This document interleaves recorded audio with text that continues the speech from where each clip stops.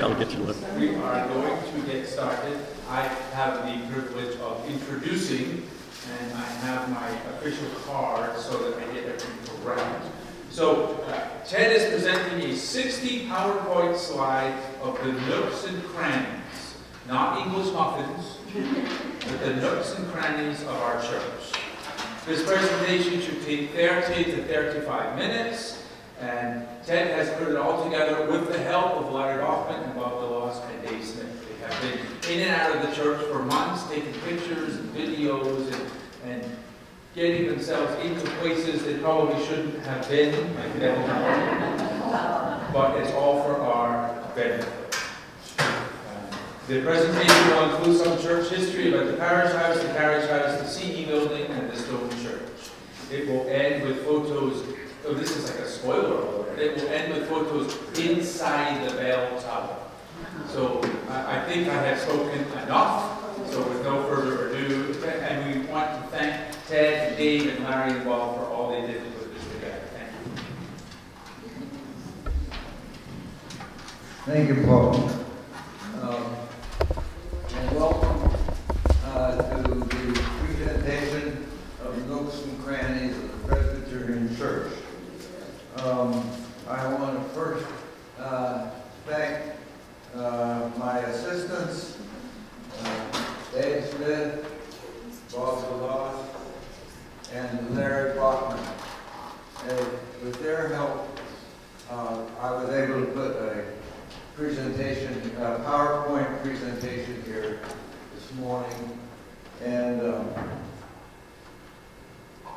what happens when people um, reach middle age? They have developed a bucket list of things that they want to see or do before they die. Uh, when I retired, I had a list of over a hundred items that uh, I wanted to see. Um, I was talking to Bob Delost last year, and I told him I was down to the last one. And that item was to see the bell in the bell tower, church bell tower. Uh, he said that he'd like to see the bell also. So we grabbed our cameras and took pictures of the bell and And they will be included at the end of the program. I want to start by making sure that we're all on the same uh, page. So I'm going to define what a nook and cranny is.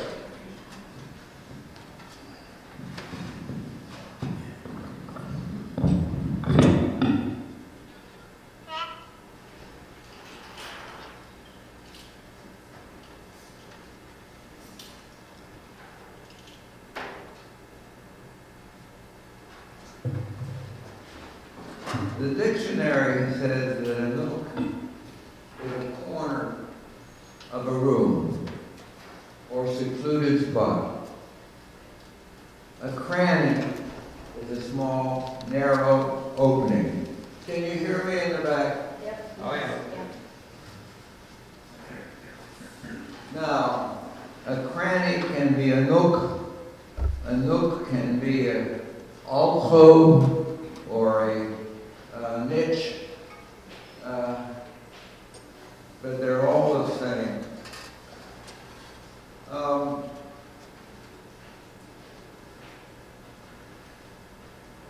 before uh, we get this slide, uh, get the uh, photo slide going, I'd like to give a little history about how the Presbyterian Church developed over 220 years.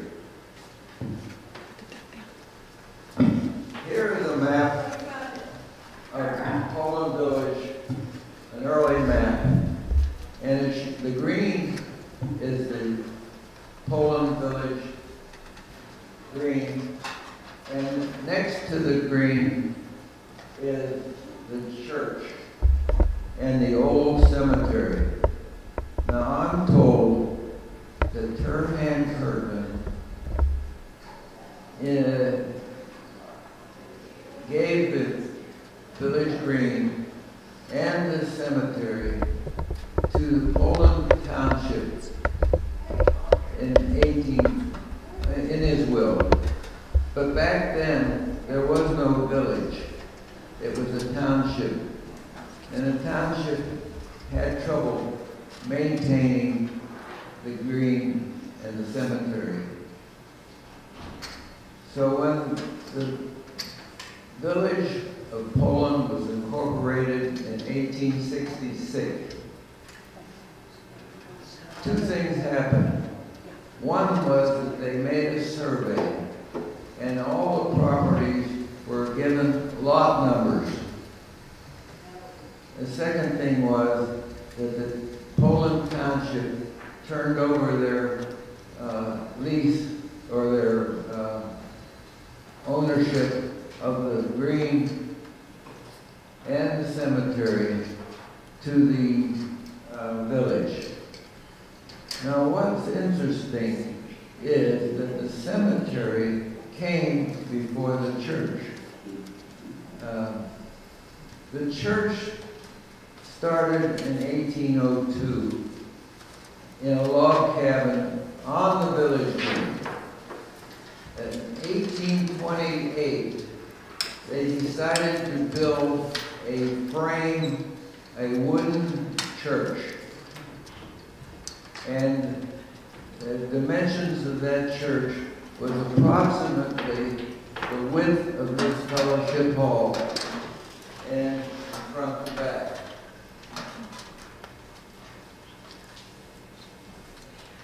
And in 1844, the wooden church, or frame church, had a pastor by the name of Coon, C-O-O-N. And he purchased a lot from uh, Henry Kirtland, who was the son of Turhand Kirtland. In 1865, when the village was incorporated, the property owners were assigned lot numbers. And the lot numbers started out at the parish house, uh, lot number one. The church was lot number two, and the large, what we call the Tur Turhand Kirtland House was lot three. And the numbers went up Main Street on the west side and came down on the east side. And you will see Oh, wrong button.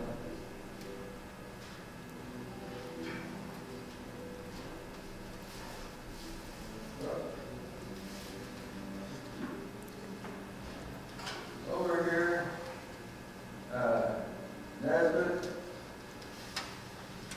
and Hine, they were lots, uh, seventy and eighty. So, and as the, as the town grew, they added more lot numbers.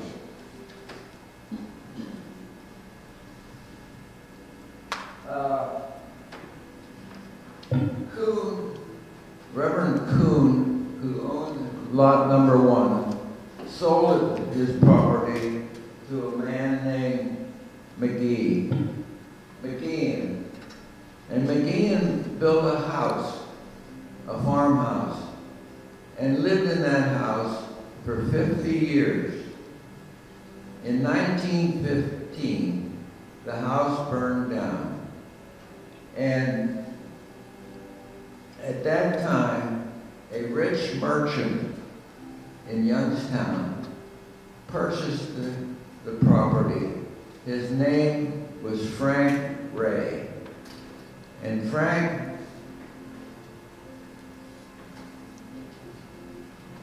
I would call it a mansion uh, on, the, on lot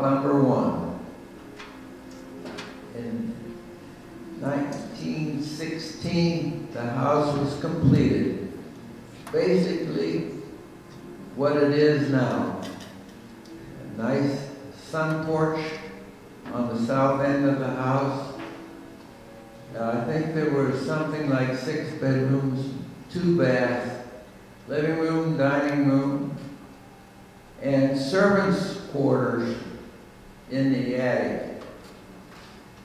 Attached to the house was a garage or carriage house.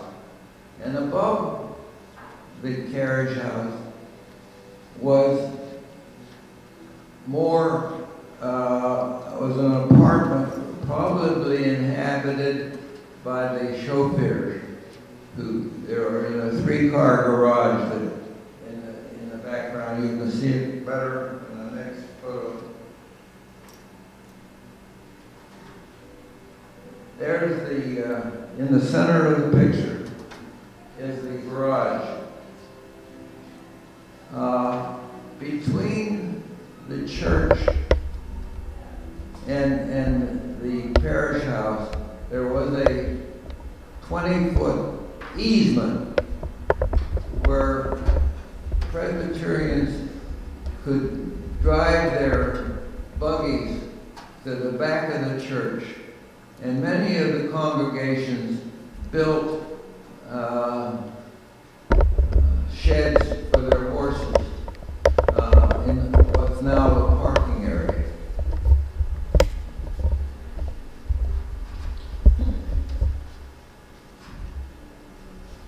In 1955, the congregation decided that they would build an education building between the parish house and the church. In order to do that, they had to move the garage uh, from its pre- from its old position, which is in red, the red chur- um, garage, and they moved it to the back of the parking lot. On the parking lot was also a Boy Scout house or barn, and they moved that uh, next to the uh, carriage shop, carriage house, and uh, connected the two with the new construction. And this was the result. On the left is the top of the garage. In the center is a new, new kitchen. And to the right is the scout house.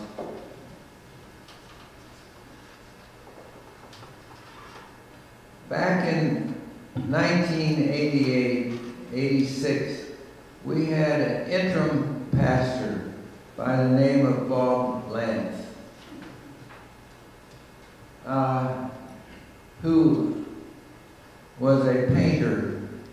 And this is Reverend Lance's concept of what the Presbyterian Church looked like in 1988. Uh, on the right is a stone church. The center is the education building, and on the left the parish house.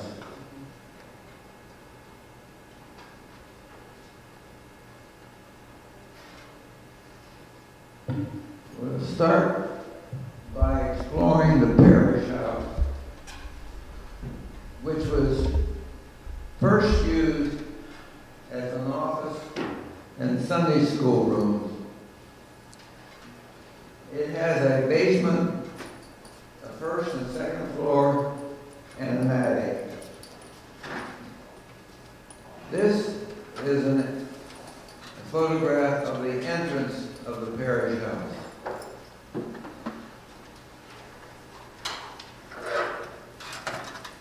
On the left is a nice little nook uh, with uh, two rocking chairs. um, and To the left of the entrance. And The parish house has a center stairway which leads to the second floor. And on the landing, you will see a stained glass window, which is very common for houses back in 1916. As you enter the house, on the left is, was the living room, which is now the pastor's office. And the doors in the back of the, uh, beside the fireplace, they lead out into the sunroom. Sun porch, which is off of the pastor's study. And, uh, Paul, you use it sometimes for conferences. Not here. Sometimes for meetings. On the right, as you enter the parish house, was the dining room, which had been converted into the church office. And there's two doors that lead back to the kitchen. This is a photograph of the kitchen today. It's been modernized uh, somewhat, but the- I believe that the cabinets are original. In um, about 1958, on Easter, my wife and I were in charge of the nursery. And during the church service, we had nine babies in the kitchen here, uh, laying on the floor. Two of them were our children.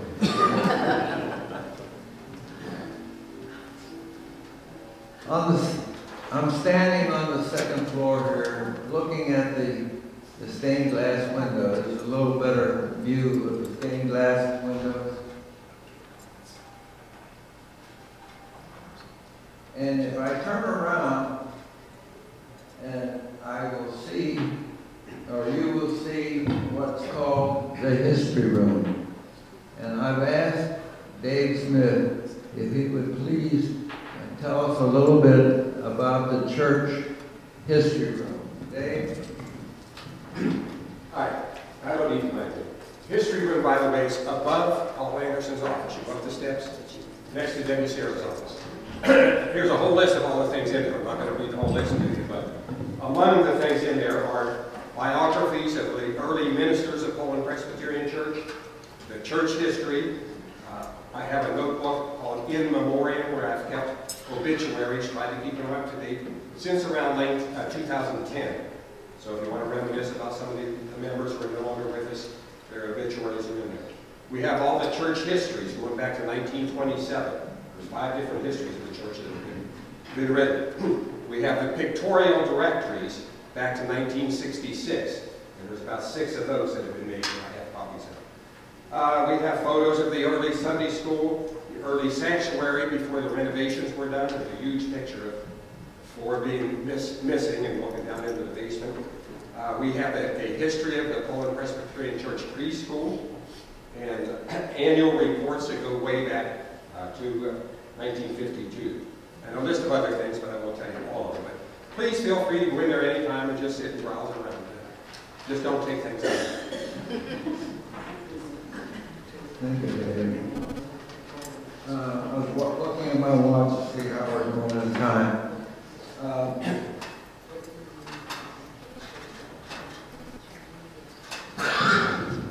Down the hall, on the second floor, on the north end, is a meeting room. And adjacent to the meeting room is a stairway that leads up to the attic. We believe that the attic was servants' quarters. It's decorated now, I understand, and used by the college students. On either side of the attic room here, you might see, uh, the, on the borders of the picture, there are little doors, and those doors lead into a, um, I guess you'd call it, uh, a cranny. It's a storage area, um, in the attic. At one time, it was, um, filled with, um, uh, memorabilia, church memorabilia. And it's been clean- cleaned out recently.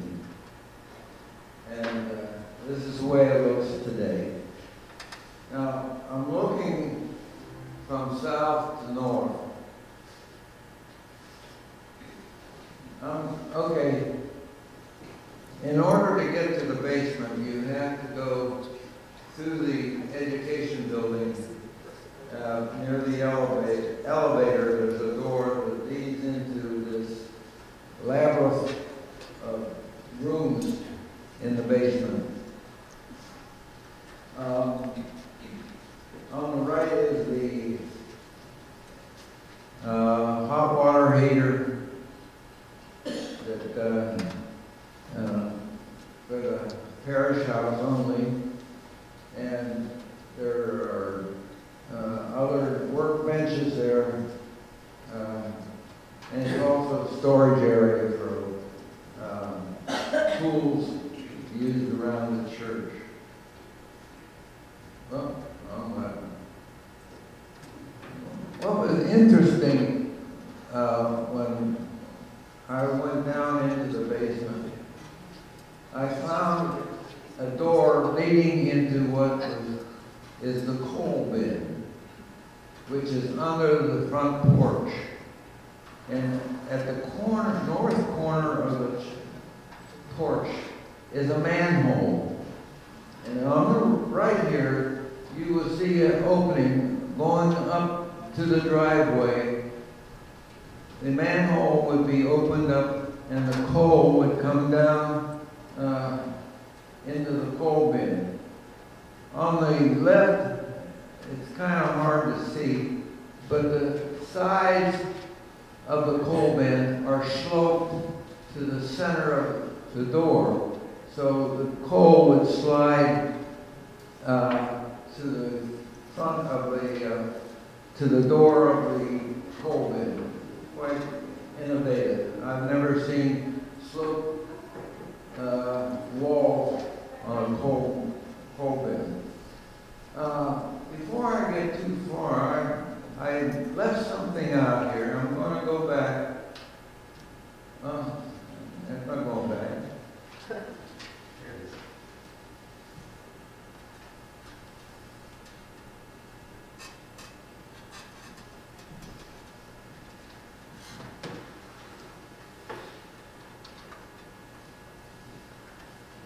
I want, I missed out on this. Um, In 1916, there was a rich merchant in Youngstown by the name of Frank Ray. And Frank graduated from the Poland schools. He got into the mercantile business, built up a big, uh, uh, became quite rich, and he had a partner in his business. And the partner name was James Campbell, who became the first president of Youngstown Sheet Sheet and Tube. Uh, Mr. Frank Ray uh, is now resting over at the Riverside Cemetery, and his tombstone can be seen there. And notice the circular drive in front of the house. In 1941, from, oh, I'm sorry, Mr. Ray only lived there six years, and he died. And there were various owners from 1922 to 1941. When Mrs. Isaly uh, bought the house, and she lived there until 1948. Mrs. Isaly was the wife of the founder of the Isaly Company in Youngstown, Ohio. Her husband uh, was despondent and uh, killed himself uh, at, at the age of 33. In that big U-Haul building in Youngstown, on the third floor? He killed himself in his office. Okay. Uh, huh? Okay.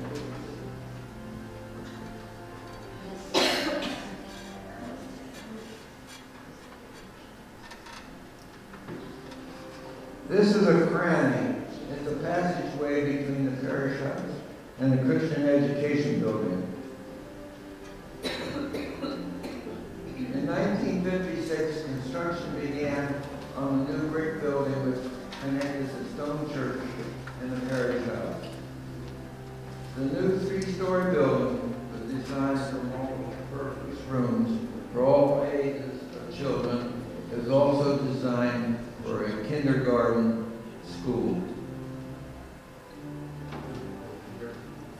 This is a rear view of the Christian Education Building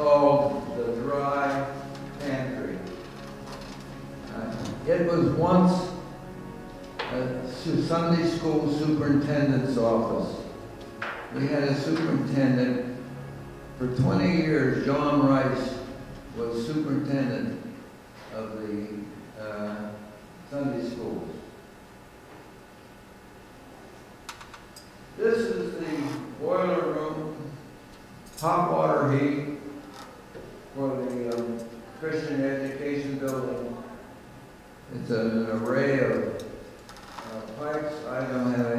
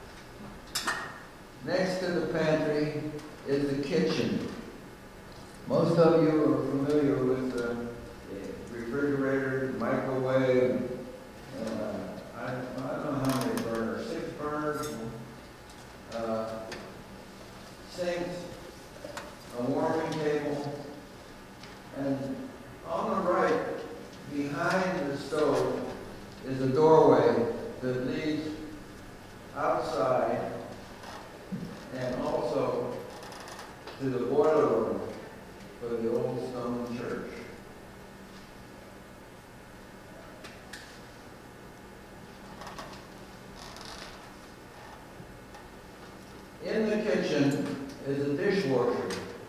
It's a monster. And uh, you have to be a uh, computer scientist um, to understand how to operate that uh, marvelous piece of engineering.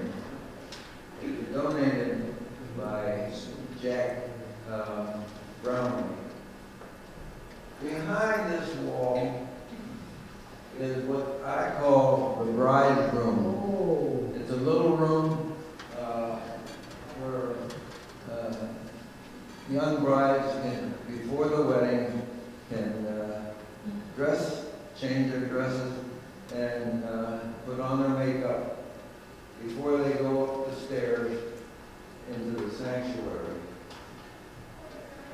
The bridegroom contains a bathroom, as you see through the mirror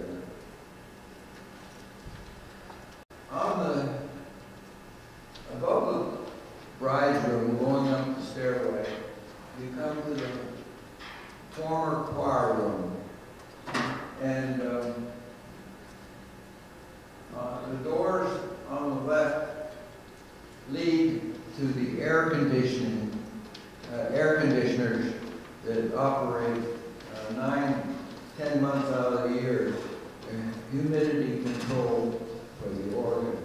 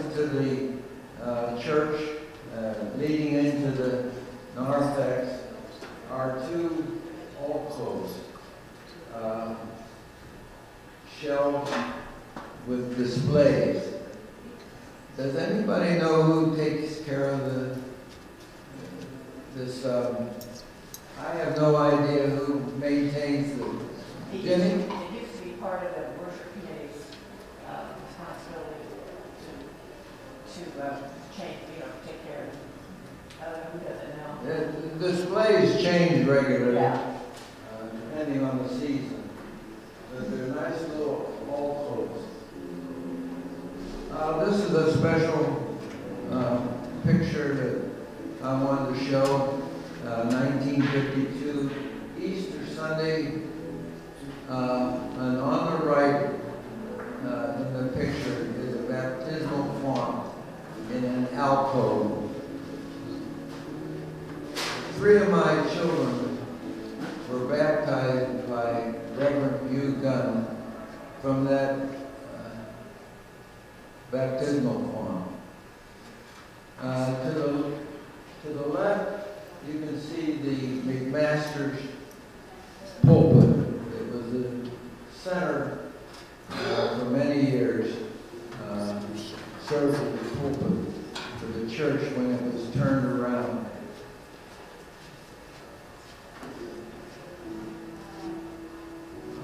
now we're getting to the bell tower. And the present sanctuary, um, next to the pulpit and the baptismal font, which is the same one you saw in the previous picture, is a, is the bell tower. And in the bell tower, on the first floor, are ladders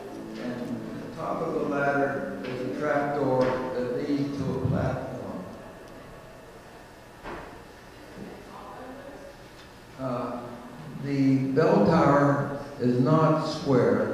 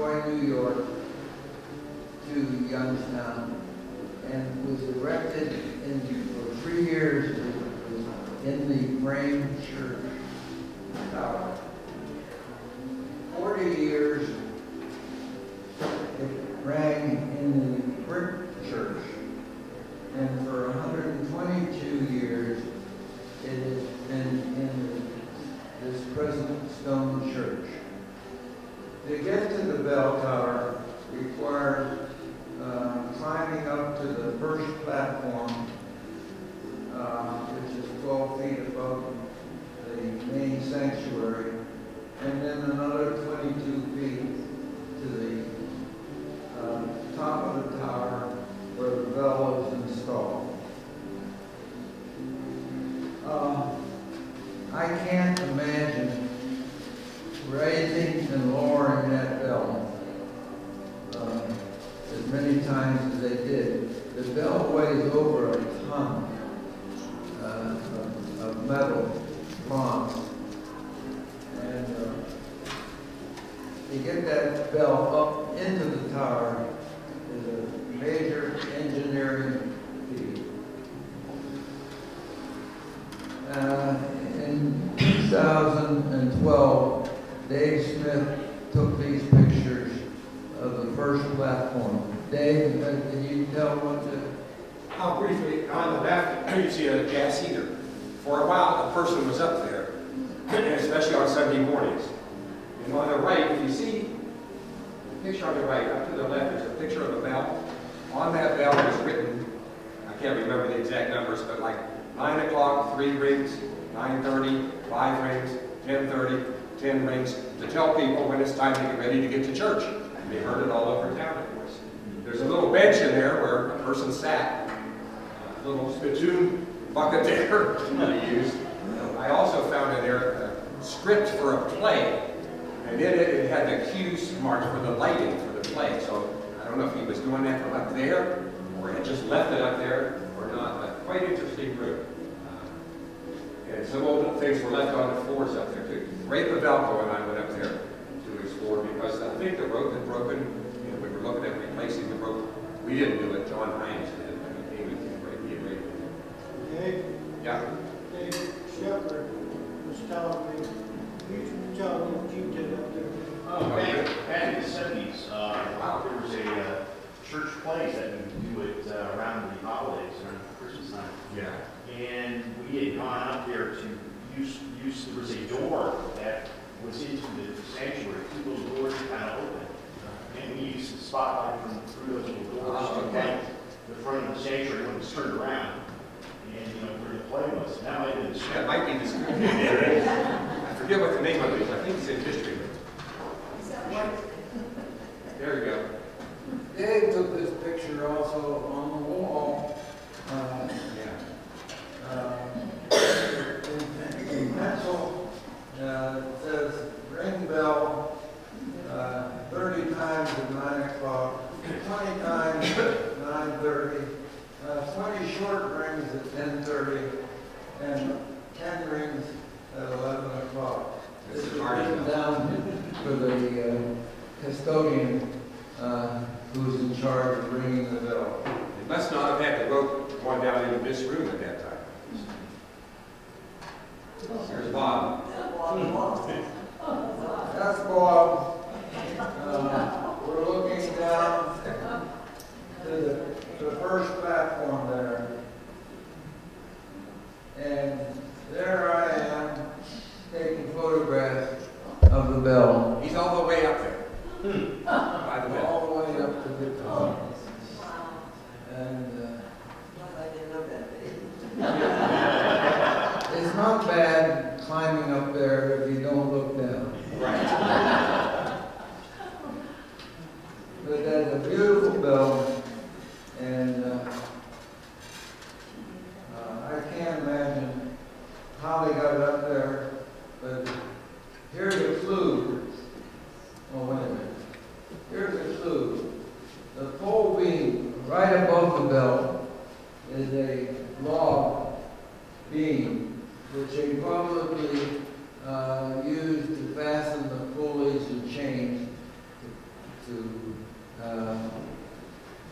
get the bell up into the tower. And on the right are the carillon speakers, which broadcast every hour